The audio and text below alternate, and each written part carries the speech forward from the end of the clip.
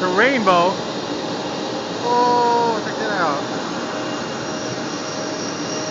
Where's the leprechaun?